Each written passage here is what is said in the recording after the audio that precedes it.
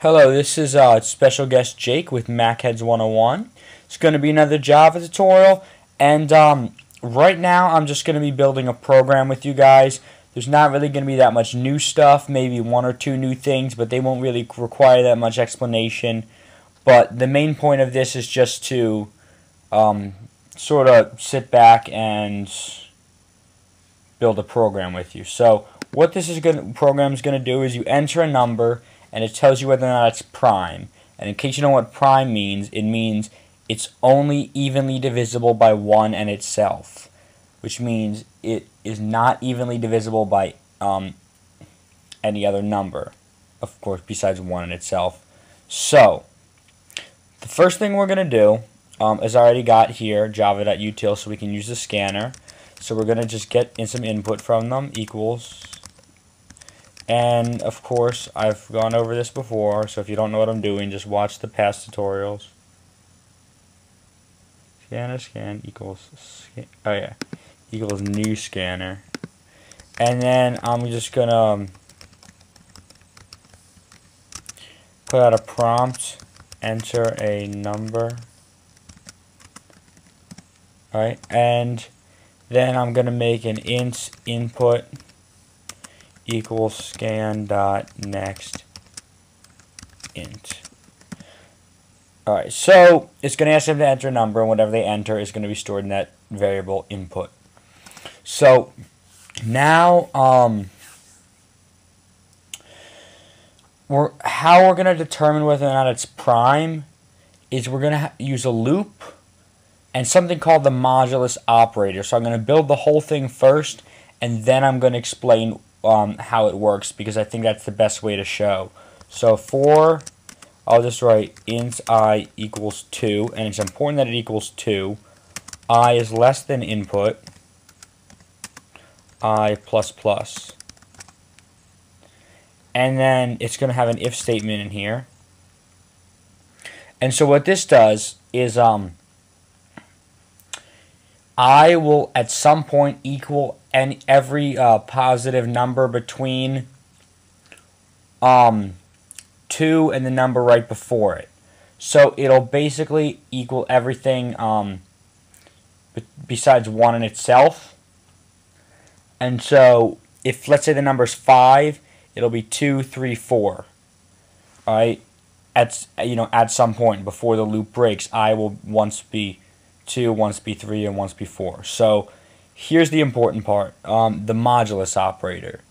So, what the modulus operator does is like adding, you know, the plus sign will add to. Well, if you do something modulus something, what it returns is the remainder of them when divided.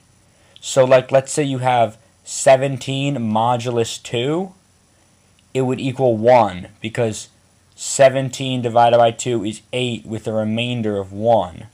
So if input modulus i equals equals 0, we're going to do something.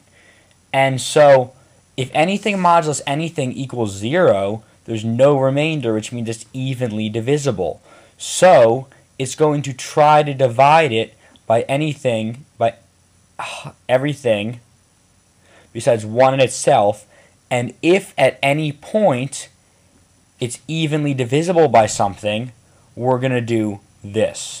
And I'm going to make something called a boolean, which is the only uh, new thing besides the modulus that I'm mentioning here, which is a variable that can be set to either true or false. It can only be set to two things. Um, boolean prime.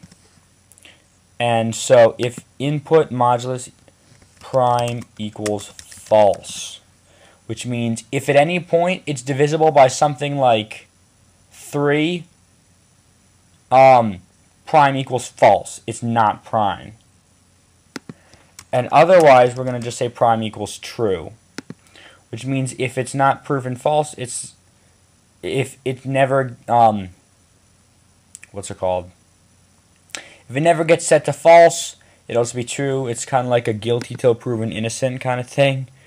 Um, and then I'm just going to make this if statement. If prime equals equals false,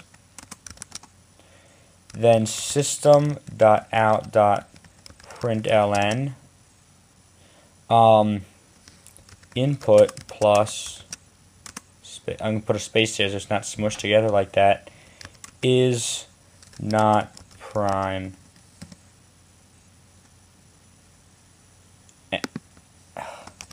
else if prime equals equals true system dot out dot println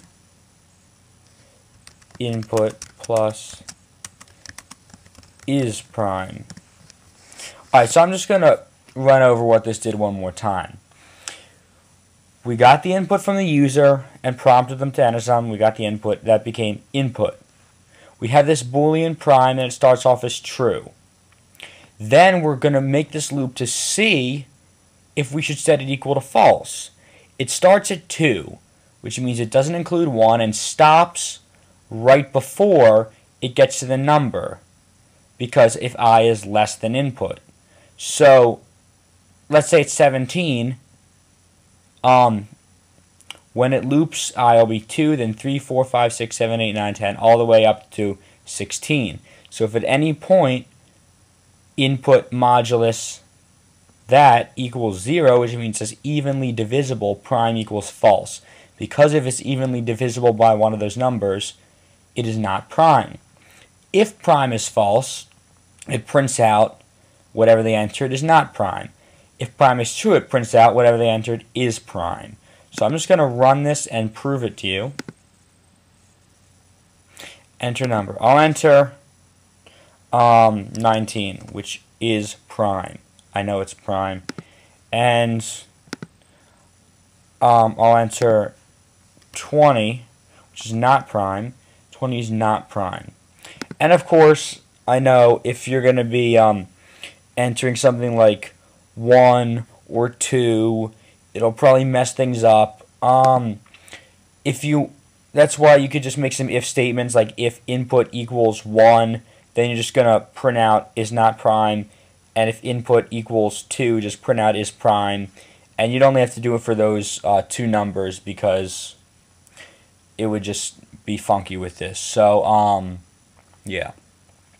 That's just the prime number program. Just, uh, you know, sit back and build a program with you guys. So, uh, see ya.